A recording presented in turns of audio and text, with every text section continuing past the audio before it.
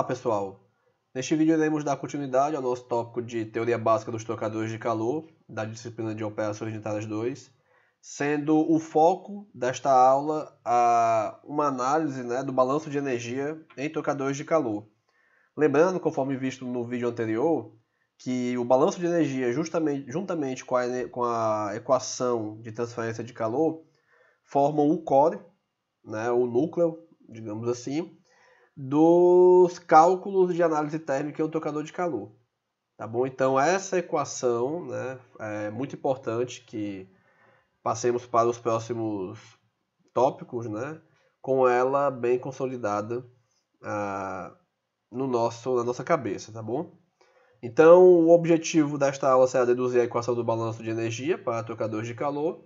Incluiria aqui também fazer comentários acerca desse, dessa equação obtida. Então, conforme visto no, em aulas anteriores, né, o trocador de calor, em síntese, ele é um equipamento onde nós temos um fluido quente ah, escoando, né, e um fluido frio né, que irá receber calor desse fluido quente. Para a maioria dos casos, nós temos uma parede sólida separando esses fluidos, tá certo? É importante lembrar que aqui, né, nessa nossa disciplina, como eu já disse também em outros vídeos, nós iremos estudar principalmente os recuperadores de calor. Certo? Lembrando que os recuperadores de calor são aqueles em que a troca térmica ocorre de forma contínua, enquanto nos regeneradores de calor essa troca térmica ocorre de forma intermitente. Então, aqui nós temos uh, o fluido quente representado pela sua vazão máxima, certo? Uh, pela sua temperatura de entrada e temperatura de saída, e o fluido frio aqui, no caso específico, né, estamos mostrando um trocador de calor operando em escoamento contra a corrente, mas o equacionamento que iremos obter, né, as equações que iremos avaliar aqui nesta, nesta aula, vale para qualquer tipo de trocador de calor. Então, o, a temperatura de entrada do fluido frio, a temperatura de saída do fluido frio e aqui a vazão máxima do fluido frio. Então, utilizaremos o número 1 como a representação para a temperatura de entrada e o número 2 como representação para a temperatura de saída. Então, como eu vou deixar também aqui o link né, de um vídeo em que eu faço dedução passo a passo da equação do balanço de energia, isso foge um pouco do nosso escopo aqui. Nós queremos apenas obter a equação geral e a simplificá-la para obter a equação de balanço de energia específica para trocadores de calor. Mas, em síntese, né, a, como vocês já viram também em disciplinas como termodinâmica, a equação do balanço de energia, desculpa, a energia ela pode ser a, estar disponível em diversas formas, né? Então nós podemos ter energia cinética, energia potencial, a energia interna, e também a energia pode ser trocada por transferência de calor ou na, na realização ou no recebimento de trabalho.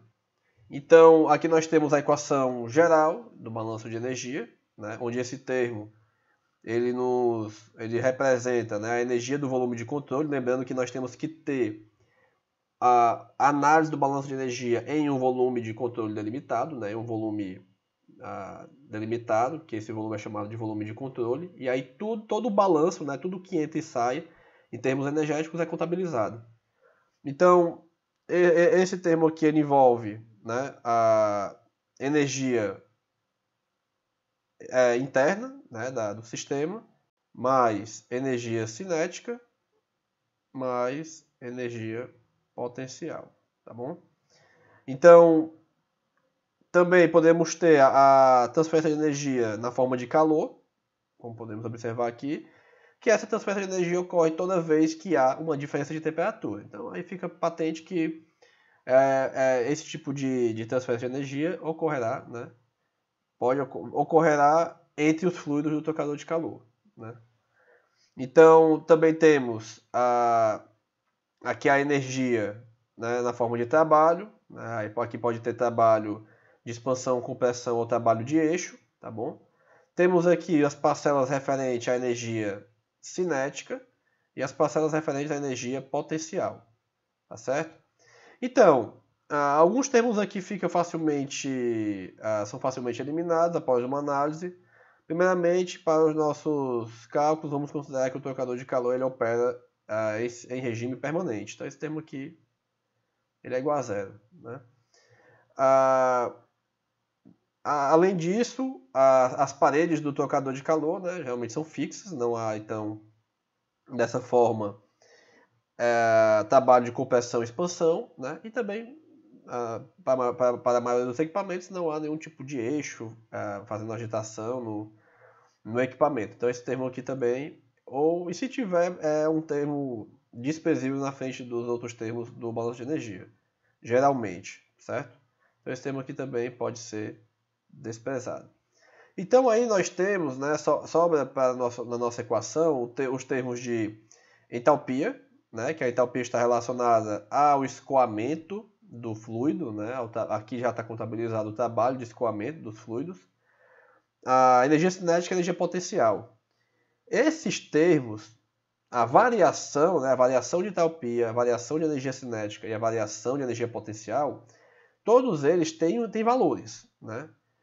Entretanto, o termo de variação de entalpia, né, quando ele está presente, ele é bem maior né, do que o de variação de energia cinética e variação de energia potencial.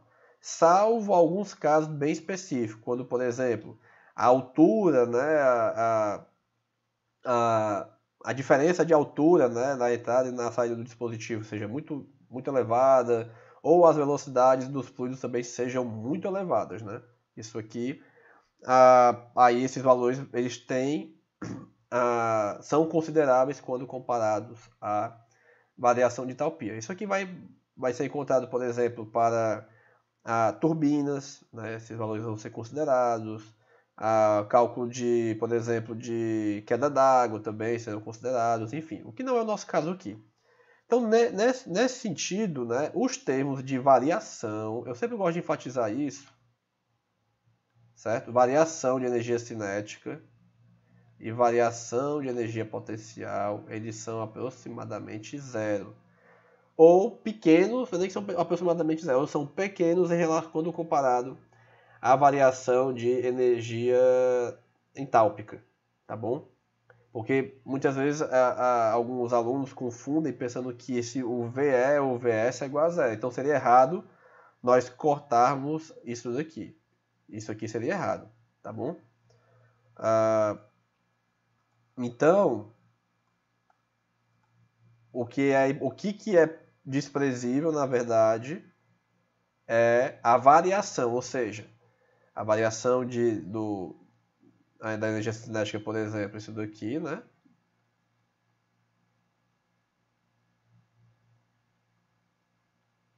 Isso aqui sim, isso aqui pode ser desprezível, certo? De forma análoga à energia potencial tá bom? Então, no final nós vamos ter essa equação aqui, onde nós temos a, a vazão máxima do fluido, né? Notem que aqui eu não estou fazendo referência a fluido frio ou fluido quente, eu estou fazendo aqui de um fluido genérico, né? a, a, a, a entalpia da saída, né? a somatória da entalpia da saída das correntes, menos o somatório das entalpias da entrada. Né? Isso aqui porque eu passei o termo calor para o outro lado. É igual ao calor. Que calor é esse? o calor trocado do meu volume de controle, que está sendo o trocador de calor, que está sendo isso daqui, ó, meu volume de controle, certo? Com a vizinhança. Então é muito importante a gente ter isso em mente por enquanto, tá certo? Então, o que acontece? O meu trocador de calor, né, ele é considerado adiabático. Né? Então isso quer dizer o quê? A troca térmica que ocorre entre os fluidos ela é muito maior do que o, o, o isso para a maioria dos trocadores de calor, né? vai ter tipos de trocadores de calor que esse termo não pode ser desprezado. E é também uma questão de projeto, né? projeta-se de uma forma que aquele a, equipamento a, troque o mínimo possível de energia com o ambiente, né? uma vez que a eficiência dele está atrelada à energia do fluido quente indo para o, para o fluido frio. Então, quanto mais energia do fluido quente for para o fluido frio, melhor, tá bom? Então, neste caso, o, o nosso trocador de calor será considerado adiabático. Né? Então, isso quer dizer o quê? Só um outro detalhe, pessoal. No slide anterior, né, eu usei muito esse termo aqui. Um H minúsculo, tá bom? Isso aqui será relacionado a energia, né? Então, por exemplo, kilojoule. Opa. Por exemplo, kilojoule. Né, alguma unidade de energia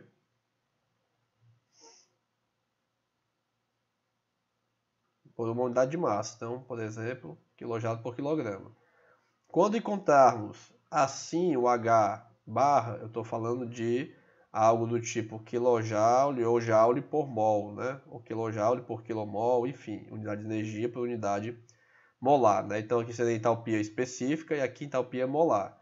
Quando não tiver nada e for o H maiúsculo, eu estou falando de energia total, né? De entalpia total, tá bom?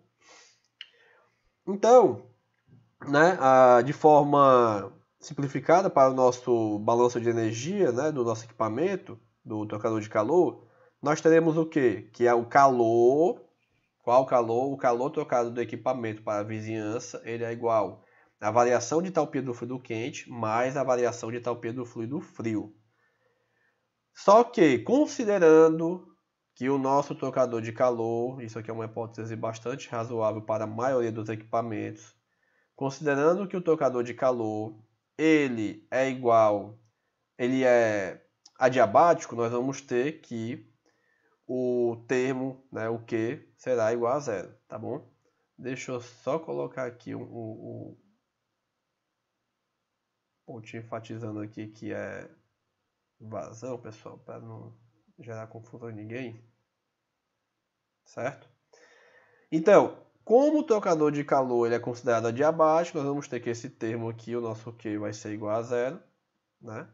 E, no final das contas, o balanço de energia vai consistir no quê? Na, na variação de entalpia total do fluido quente é igual a menos a variação de entalpia do fluido frio. Né? Ou variação de entalpia do fluido quente mais a do fluido frio é igual a zero. Então, todo o nosso balanço de energia vai ser em cima disso. Tá bom? No caso de trocadores de calor. E aí, só para fazer uma breve revisão, nós temos né, basicamente quatro tipos de uh, delta Gas. Então, nós, nós temos o delta H relacionado, por exemplo, à variação de temperatura apenas, quando o fluido ele tem sua variação de temperatura, mas não há mudança de fase. Né? Então, isso aqui é considerado como calor sensível, né? entalpia sensível. Temos a entalpia relacionada à transição de fases, né, que aqui nós chamamos de calor latente. Então, o tipo de, de, de energia que é, é, que é envolvida na mudança de fase é diferente da energia que é envolvida na, no aumento ou na diminuição da temperatura, tá bom? Temos também entalpias relacionadas à mistura, né, que aqui é calor de solução, e, tal, e entalpias relacionadas à reação química. Então, toda reação química, ela libera ou absorve calor. Né? E aí tem assim, é considerado, é chamado de calor de reação. Só que aqui para o nosso caso, os principais tipos de entalpias né, que iremos avaliar para os nossos programas de tocadores de calor serão a variação da temperatura né, e a que calor sensível e a mudança de fase, né, a entalpia relacionada com mudança de fase, que é bastante conhecido como calor latente. Então é muito importante sabermos como calcular né, o calor sensível envolvido em, em processos de trocadores de calor e a, avaliar, obter né, valores de calor latente para os fluidos que estiverem presentes no equipamento. Tá ok? Então, a, de forma a, só apenas título de, de, de, esclarecimento, né? Aqui nós temos, como eu tinha comentado, a entalpia total do fluido quente, a entalpia total do fluido frio. Então, essa entalpia, né, ela é a mesma coisa do que eu multiplicar a vazão mássica. Então, aqui nós temos, lembrar, fazer uma análise dimensional aqui da equação.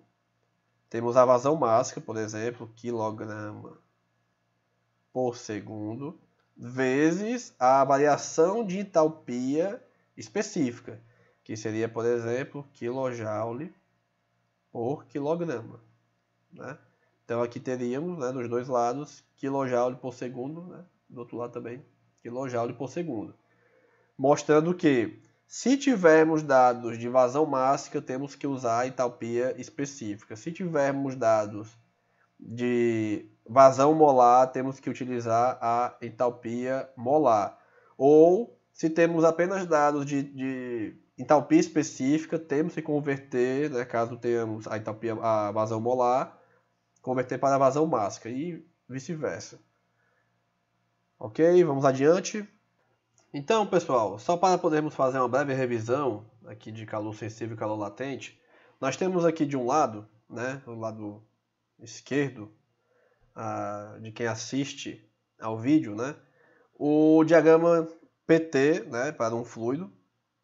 Aqui nós temos, no caso, a representação para a água, onde nós temos aqui, como todo mundo já sabe, né, a fase, a representação da fase sólida, da fase líquida, da fase vapor. Para os nossos fins aqui de, de, é, de tocadores de calor, né, nós iremos trabalhar bastante mesmo, né? Nossos problemas serão a, avaliando a fase líquida e a fase vapor, tá bom? Então, o que acontece? Vamos supor né, que tenhamos aqui água, uh, sei lá, aqui mais ou menos, a, aqui no ponto A mesmo, como está, como está representado aqui. E essa água, né, ela está aqui aproximadamente a uns 80 graus, né? E ela sofre uma redução na sua temperatura, né? Então é retirado o calor dela e ela vem, por exemplo, para próximo a 50 graus, né? Como podemos observar aqui no diagrama, também vou deixar aqui um, um link uh, de um vídeo né, onde eu explico esse diagrama de forma bem detalhada. Então, quando há a redução dessa temperatura, né, a água mantém-se no estado líquido. Tá bom? Então, toda a energia da água que foi retirada, né, ela foi convertida, por exemplo, em uma diminuição né, na, na vibração, no, no movimento, né, na velocidade das moléculas, né, que é, no final das contas, o que, ah, nos, o que representa né, a temperatura, né, de forma bem simplificada. Então, ah, se essa água né, que estava a 80 graus Celsius, ela recebe né, energia na forma de calor, e ela aumenta o seu grau de agitação, né, velocidade das moléculas, enfim. Isso é para quem tem um pouco de, de de curiosidade, pode ver isso a partir da teoria cinética dos gases, que você consegue relacionar bem temperatura com velocidade das moléculas, tá bom? Mas, então, aumentando a temperatura da água de 80, por exemplo, para 100 graus, né, graus Celsius, ela vai aumentar a sua, sua agitação, vai aumentar a quantidade de energia que tem naquela água, mas ela ainda permanece no estado líquido, né? Então, quando há essa variação de temperatura sem a, ocorrer a transição de fases, né, nós estamos falando de calor sensível, né, ou ΔH sensível. Então, esse processo aqui ou esse processo aqui seria algo relacionado a ΔH sensível, certo? De forma análoga, né, se eu tenho, por exemplo, aqui água no estado vapor, né, aqui nesse ponto C, e eu tenho uma diminuição da temperatura ou um aumento da temperatura sem haver a transição de fases, eu tenho unicamente ΔH sensível. Obviamente que o ΔH sensível do estado líquido ele tem magnitude diferente do ΔH sensível do estado vapor. Mas, né, supondo que eu, naquele momento em que eu tinha água a 80 graus Celsius e eu começo a, a aumentar a temperatura, aumentar, né, fornecer calor, aí chega um ponto em que ocorre a primeira, forma, forma-se a primeira bolha, né? Quando se forma essa primeira bolha, toda a energia da água, que ela, ela, toda a energia que a água receber, ela vai ser utilizada para passar a, a, as moléculas que estão no estado líquido para o estado vapor. Né? Então ela vai gastar um tempo apenas fazendo essa conversão né, do líquido para o vapor. Nessa transição, né, enquanto não houver, o sistema não estiver totalmente no estado vapor, aquele sistema vai permanecer a uma temperatura constante, que é a 100 graus Celsius. Nessa transição de fases, da fase líquida para a fase vapor, né, ou de qualquer fase, né, da líquida para vapor, da vapor para líquida, enfim, o que ocorre aí é uma, uma transferência, né, uma variação de entalpia, né, um calor envolvido, chamado de latente. Tá certo? A temperatura permanece constante durante a transição de fases. Né? Então, os dois tipos de, de entalpias que nós podemos avaliar aqui durante o, a, o cálculo de trocadores de calor são essas. Variação de entalpia sensível, né, o calor sensível, e entalpia latente, o calor latente. Veremos nos próximos vídeos, como, nos próximos slides, como calculamos né, essas, essas variáveis. E é muito importante calcular essas propriedades de forma adequada. Né? Uma vez, como veremos nas próximas aulas, a, toda a parte de análise térmica de trocadores de calor começa com o balanço de energia. Então, se no balanço de energia a gente utilizou alguma variação de talpia errada, né? Então provavelmente todo o cálculo do equipamento vai estar comprometido, tá bom? Então, né, ΔH sensível ok, ΔH latente ok, aqui nós temos apenas uma representação né, da variação de talpia com o aumento da temperatura, considerando uma pressão constante, né?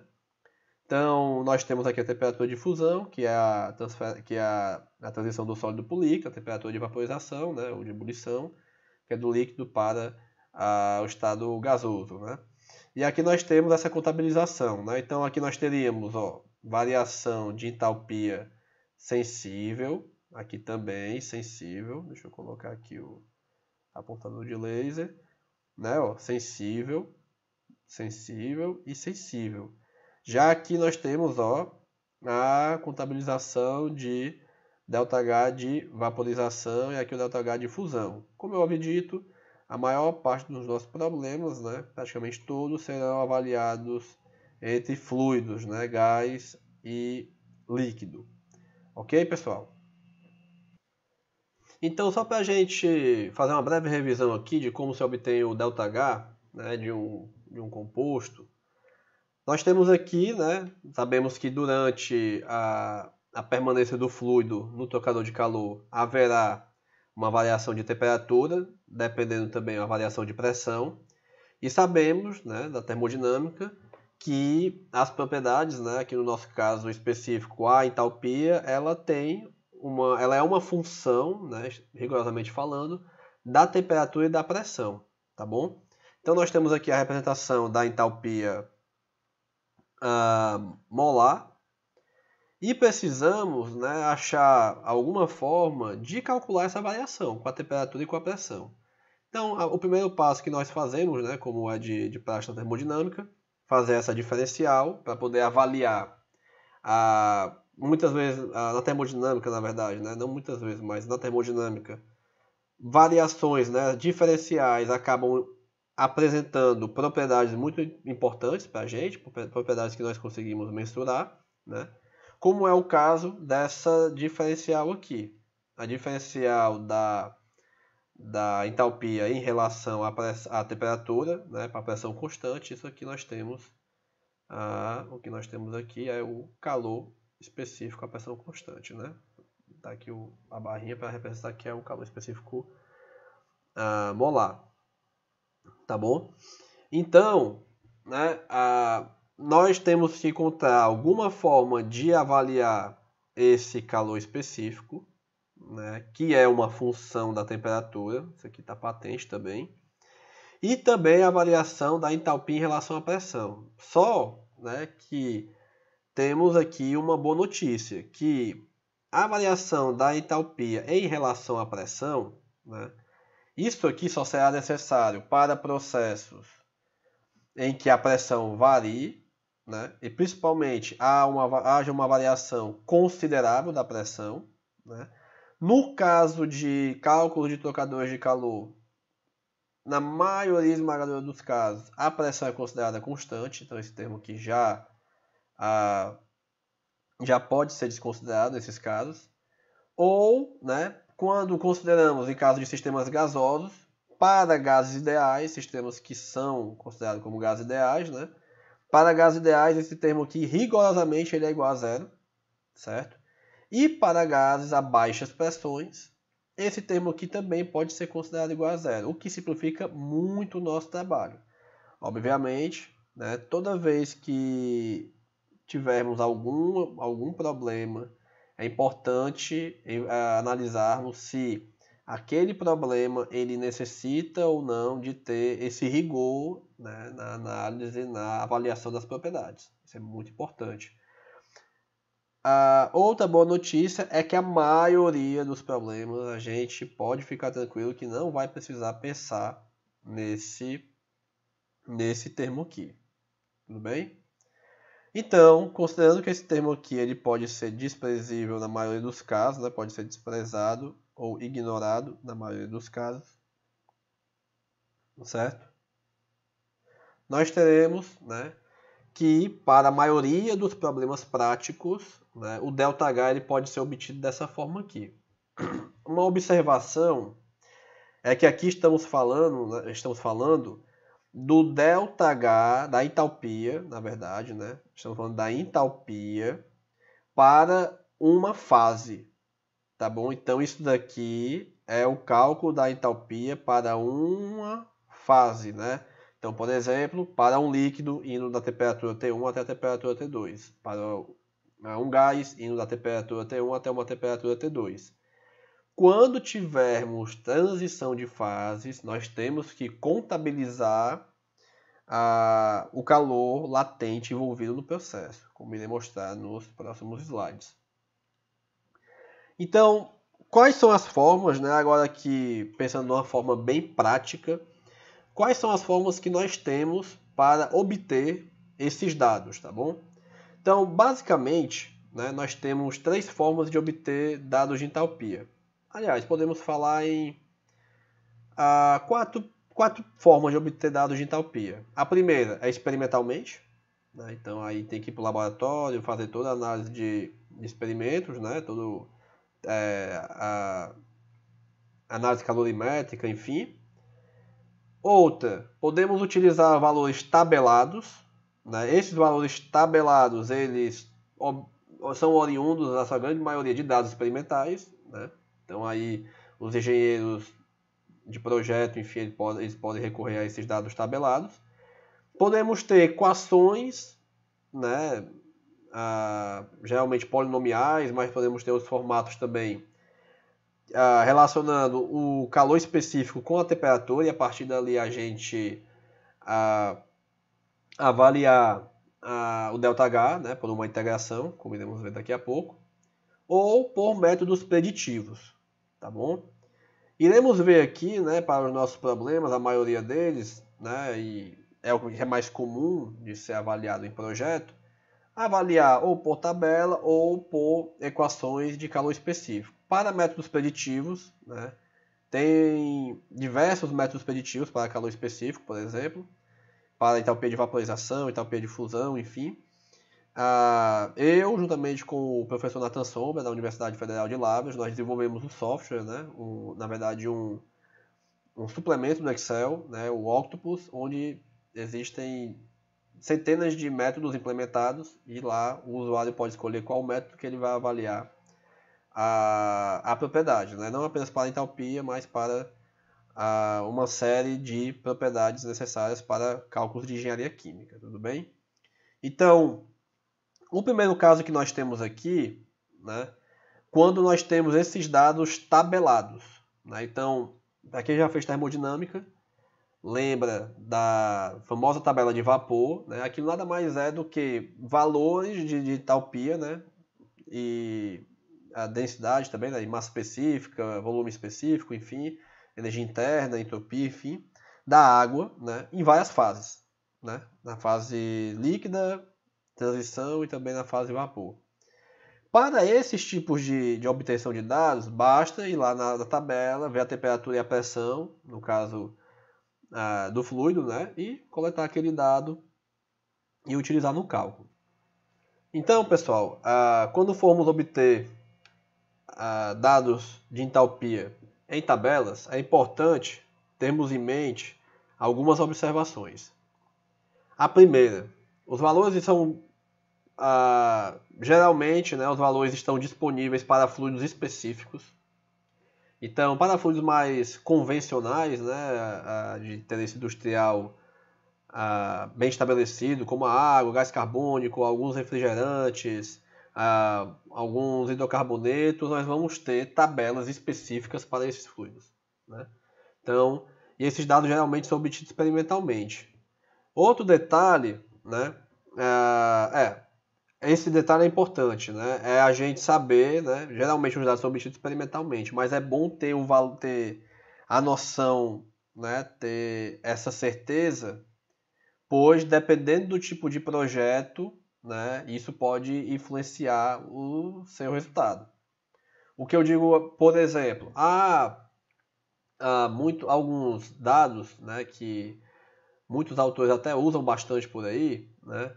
Que esses dados não são gerados a partir de dados experimentais. Né? Então, às vezes, eles são obtidos a partir de um método preditivo que muitas vezes quem gerou aquela tabela não teve o cuidado de analisar se aquele método preditivo ele era ou não adequado para a, aquele fluido. Né? Então é importante ter essa certeza.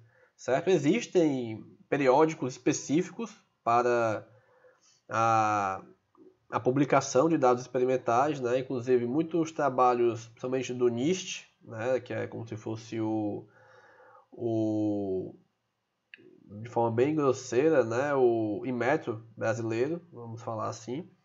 Só, desculpa, o NIST é como se fosse o Inmetro, né? só que dos Estados Unidos, o Inmetro americano, bem grosseiramente falando. E eles têm uma série de trabalhos né, mostrando ah, essa coleta de dados experimentais com equações multiparamétricas né, para avaliação de propriedades. Tá bom? Mas é importante, quando for, principalmente cálculos de projeto mesmo, avaliar com, com calma, para saber a fonte daqueles dados, certo?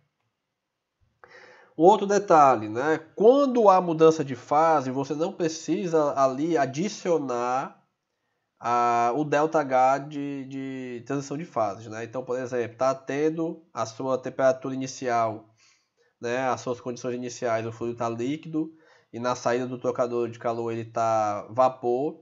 E aí você vai na tabela, pega lá a entalpia do líquido, a entalpia do vapor e acha que tem que colocar no meio daquilo a entalpia de vaporização, né, o calor latente envolvido. Não precisa, porque aquilo já está contabilizado, tá bom? Na tabela, né, o que nós temos lá, aqueles valores, é mais ou menos o, o tipo de cálculo que eu irei mostrar no próximo slide, que é feito em cada valor daquele. Ok? Ah, e aí, né? Ah, é muito chato procurar esses valores nessas tabelas. Tudo bem, quando é um, um problema simples e que você tem apenas ah, um valorzinho rápido e na tabela já tem lá aquele, aquela, aquela temperatura, aquela pressão que você está procurando, tranquilo, né? até mais simples do que você ter que implementar a equação um polinômio, alguma coisa do tipo, né, ou fazer alguma a, integração. Mas quando precisa fazer interpolações, né, principalmente quando ah, precisa se fazer cálculos interativos, essa não é a forma adequada de obter dados de entalpia, tá bom? Mas é importante saber como obter esses dados. Vou deixar também aqui o link do vídeo que eu mostro um exemplo, né, utilizando a tabela de vapor. Então, mas é bom saber como achar esses dados. Né? Pode ter problemas em que um fluido a gente vai pegar dado, vai ter que pegar dados na tabela, né? tabela específica, né? geralmente a tabela de vapor, e o outro fluido talvez fazer do, do, na forma do procedimento que eu irei apresentar adiante. Então, como a, a, outra forma né, que nós vamos comentar aqui é obter entalpia a partir do, de uma equação do calor específico.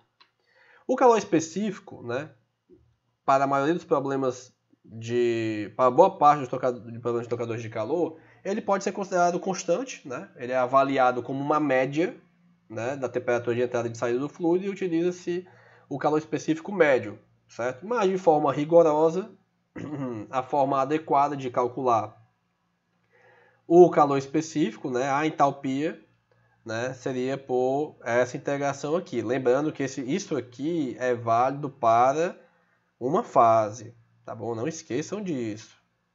Se tiver uma transição de fase, outros termos terão que ser incluídos aqui, conforme irei mostrar adiante. Então, o calor específico, né, a gente pode encontrar equações para calor específico. Né? Então, aqui são algumas equações bem comuns de serem encontradas. Né? Aqui um polinomial de segundo grau, mas tem equações que tem até grau 4 ou mais. Né? E aqui uma equação que o terceiro termo né, já é um pouquinho diferente dessa, dessa outra equação aqui. E aqui nós temos o valor do ΔH na forma integrada, né, com a integração dessa equação aqui. E aí um outro detalhe, isso daqui não é para ser decorado. Estou colocando isso daqui apenas a título de ilustração. Toda vez que você tiver uma equação de CP, faça a integração, integração dela. Certo? Por quê? Porque você pode decorar isso daqui, ir lá na tabela que você está pegando os dados, né, e na equação, e colocar esse valor aqui, só que às vezes a equação que tem lá não é dessa forma. Né? Então é muito importante conferir a equação e fazer a integração. Tá bom? Aqui é a título de ilustração apenas. Iremos fazer, resolver exercícios né, em outros vídeos, onde irei mostrar como a gente calcula para cada, cada um desse tipo, vamos calcular a entalpia, a variação de entalpia, certo? Para esse tipo que envolve esse equacionamento e outros tipos de obtenção de ΔH. E aí algumas observações que nós temos que fazer aqui para esse tipo de, de cálculo. Né? Os parâmetros, geralmente, das equações são oriundos de dados experimentais. Né? Então é, é muito importante, principalmente para situações de projeto, avaliar de onde vêm aqueles dados. Entendam bem, como veremos adiante. As equações base de projeto, elas são todas funções das propriedades, que por sua vez são funções de temperatura e pressão, né? E aí, se usamos essas propriedades de forma equivocada, todo o seu projeto está comprometido. E olha que tem propriedades que podem é, ocasionar é, erros absurdos no projeto. Exemplo disso, propriedades que estão relacionadas à transição de fases. Pois se você usa o valor errado, você pode estar considerando ali um, um, um fluido no estado vapor, só que na verdade ele está no estado líquido.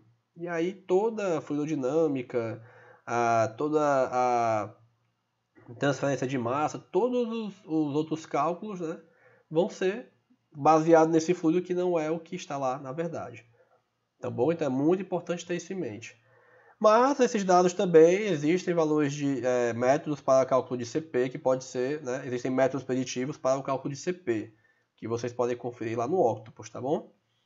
Ah, aí, né, aqui é importante ter em mente também, quando há mudança de fases entre a condição final e inicial, nós devemos considerar, né, devemos contabilizar a entalpia de transição de fases. Irei mostrar isso nos próximos slides. E, por fim, né? Esse aqui é o método indicado para cálculos auxiliados por computador. Então, como eu irei mostrar ah, em outros vídeos, né, alguns exercícios, quando temos algum procedimento interativo ou que precisa, precisamos avaliar várias vezes o valor do ΔH, esse método aqui é o mais indicado, porque a gente vai lá gastar um tempinho implementando essa equação em uma linguagem de programação, como Python ou no próprio VBA do Excel, e depois vai apenas ficar utilizando aquela função para os cálculos que nós precisamos. Tá ok? Então, né, nós temos basicamente né, três tipos de cálculos envolvendo a equação de CP. Né? Então, nós, o primeiro deles é quando não há mudança de fase, ou o segundo quando há vaporização ou quando há condensação. Lembrando né, que para cálculos de trocadores de calor, os principais, as principais fases envolvidas serão líquido e ou gás, né, vapor. Ah, mas esse, todo esse, esse, esse procedimento aqui também é válido para outras transições de fase, certo? Então, quando não há mudança de fase, né, então eu vou ter o que? Calcular aqui o meu ΔH, né, aqui estou mostrando o ΔH molar, por exemplo, da fase líquida. Né? Então, nós temos aqui a temperatura inicial né, até uma temperatura final. Aqui está TB, mas é para ser um TF. Certo? Deixa eu colocar aqui.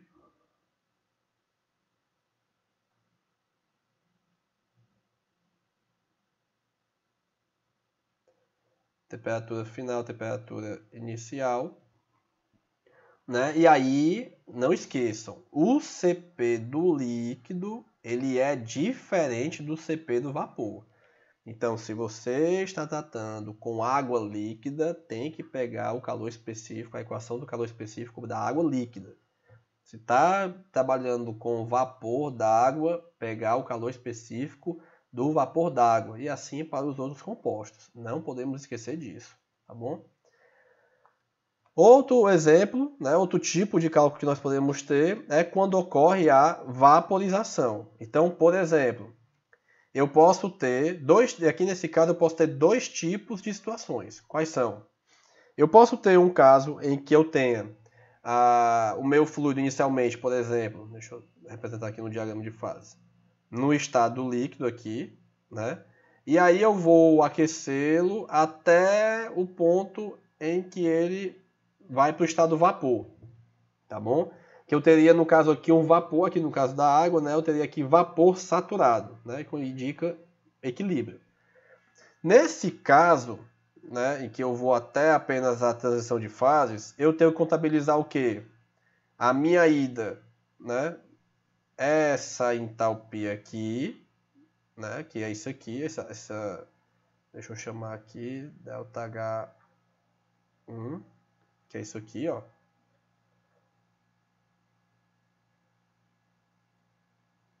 Certo? E contabilizar também a entalpia de vaporização, que é o que ocorre nessa, nessa, uh, nesse ponto aqui, né? que aqui é a entalpia de vaporização tá bom?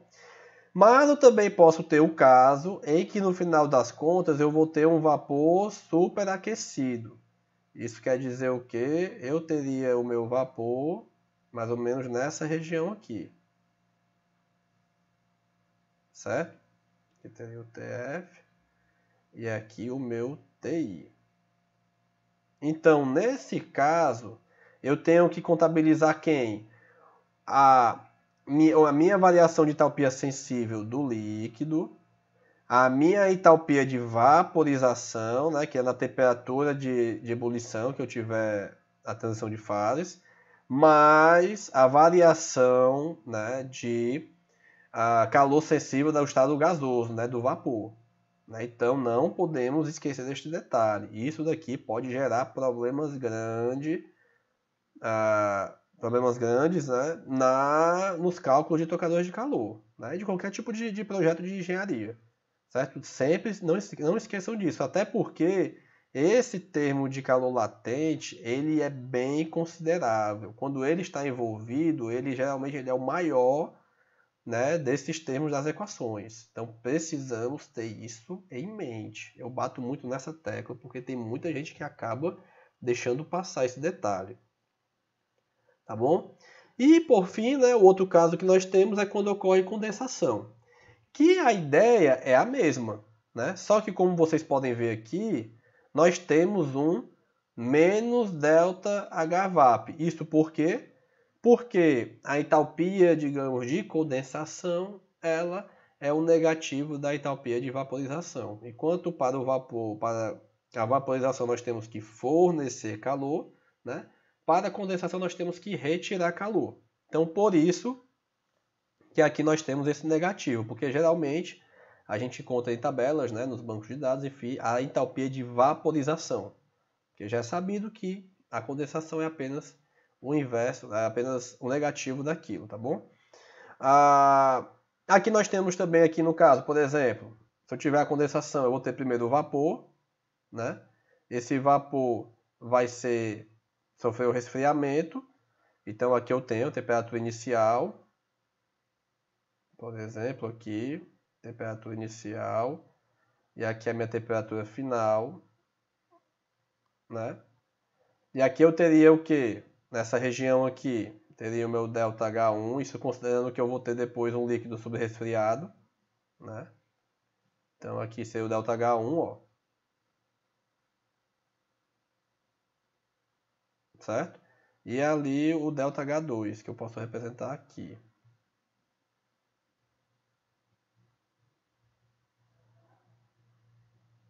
Certo?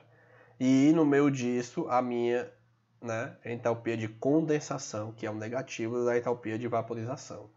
Tá bom, pessoal? E posso ter também o um caso né, em que eu tenho apenas a, a região de equilíbrio.